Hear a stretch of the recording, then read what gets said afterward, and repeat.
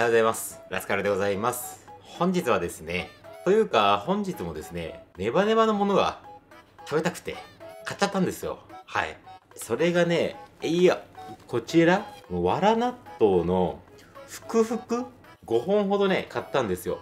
1本が 300g ぐらいあるらしいんで、全部納豆で 1.5kg。めっちゃあるんですけど。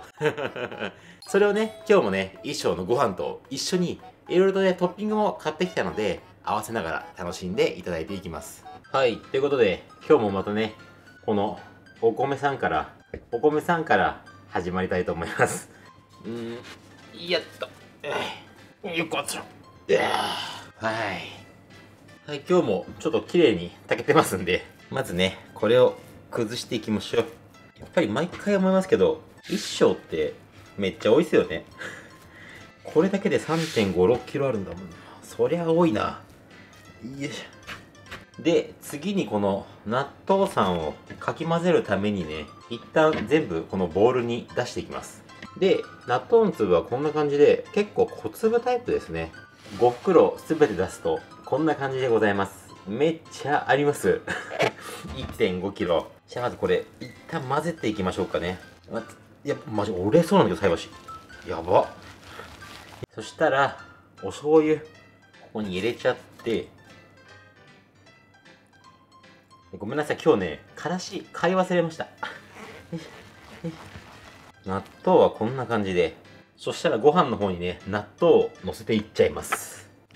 はい。はい、いや、こう見るとめ、めっちゃあるな、納豆。じゃあ今納豆が乗せ終わってね、こんな感じでございます。ここに、この刻み万能ネギ。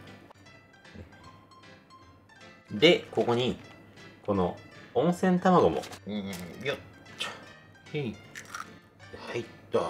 今ね、こんな感じで納豆丼が完成いたしました。いろいろね、今日はトッピングも用意してありますんで、そちらと合わせて向こうの部屋で食べていきます。はい、ということで、今こっちの部屋に移ってまいりました。いろいろね、トッピングも準備して、お味噌汁も今日は用意しました。こんなラインナップで今日はお届けしてまいります。ということで、いただきます。納豆とご飯のこの、よいしょ。ああ。こんな感じでございます。めっちゃうまそう。よいしょ。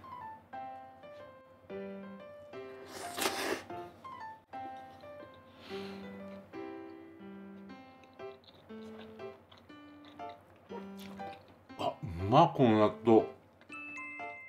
この納豆めっちゃうまい。うん。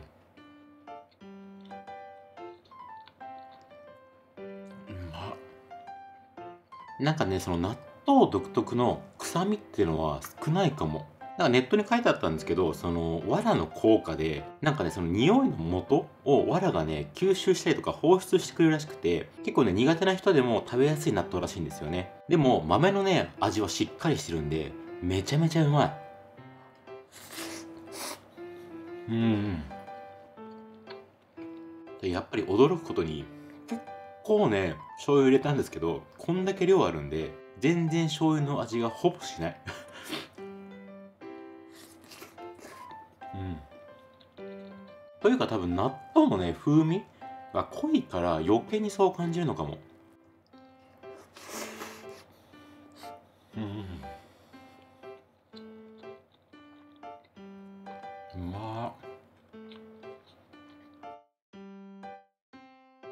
汁物が欲しい。汁物が熱い。あこの納豆めっちゃうまい。うん。あわらってこんなうまいんだ。知らなかった。フフフフフフフフそしたらこの温玉ちゃんも割っていきましょう。これ1個。シャッと。わあ。うまそう。うん。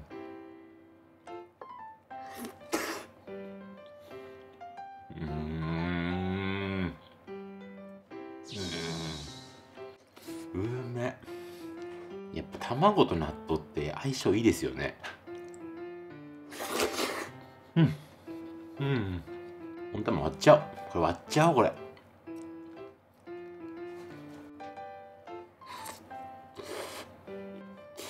うん。うまっ。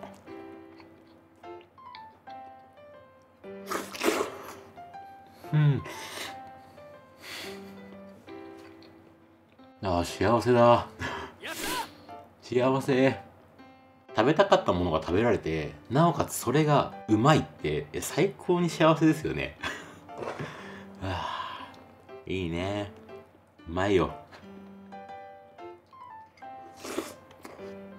うん。でもそろそろちょっとずつ味変を。まずねメカブちゃんでございます。第1品はメカブと。やっとネバネバコンビは絶対にうまい。うんうんうんはいはいはいはい。間違いないね。うまいね。うん。うまっ。次どうしようかな。次。うん。そしたらこの次はキムチかな。キムチキムチ。いやキムチ納豆もねこれ間違いないので。うまそう。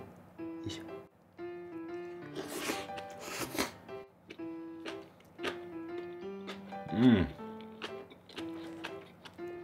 あうまいわ。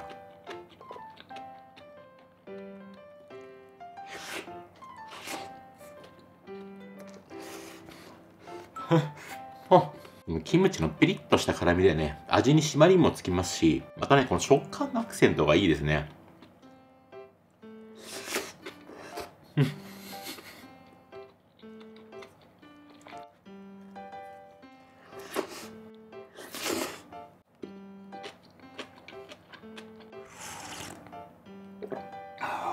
続いてはね、こちら、とろろでございます。またね、こちらもあのネバネバコンビの掛け合わせでございます。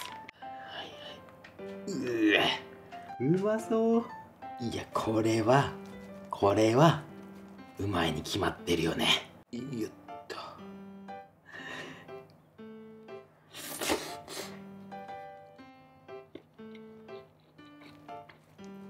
はいはい。うまいね。また食感もそうですけど、このとろろの甘みがね、いい。これがいい。うん。じゃ今用意してるのが最後かなツナでございます。まあこれはノンオイルなんで、まあ、ちょっと水煮みたいな感じなんですけど。はい。はいはいはい。で、ここに、まず醤油と、マヨネーズを これ多分最強の、最強のデブ飯だと思うんですよね。はい。今までのこのトッピングに関しては、納豆メカブ丼とか、納豆豆とろろ丼みたいな、納豆の方がね、もう確実にメインみたいな香りとか味わいなんですけど、ツナの方はもう対等というかもうむしろ、ちょっとツナの方が主張強いんじゃないかなってぐらいですね。ツナ納豆丼って感じです、こっちは。うん、うまい。うまいですけど、今回ね、あの、水煮缶を使ってるので、ツナもね、普通のオイル漬けに比べたら、ちょっとね、癖が強いので、納豆とツナで、香りがね、ちょっと強すぎるかもしれないです。これは多分普通のツナの方がうまいですね。うん。じゃあ、そろそろ、この子もいっちゃいましょうか。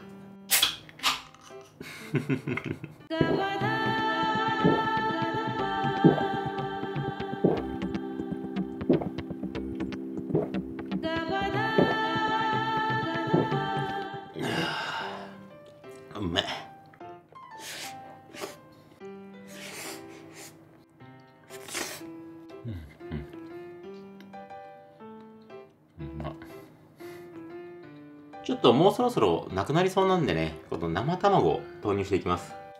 はい。やっぱ卵納豆が一番ですね、僕は。アレンジの中では、これが一番うまいっす。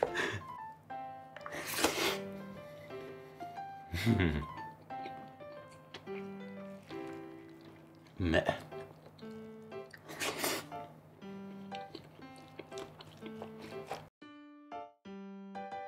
でもさすがにね、納豆ご飯こんだけツルツル入るとは言っても、5キロプラストッピングのこの納豆丼にね、1リッターのお味噌汁はお腹いっぱいになるわ。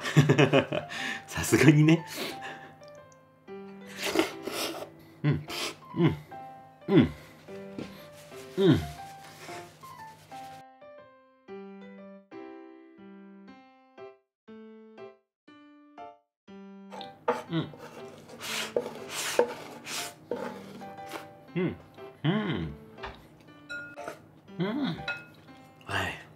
いやー、めっちゃお腹いっぱいでございます。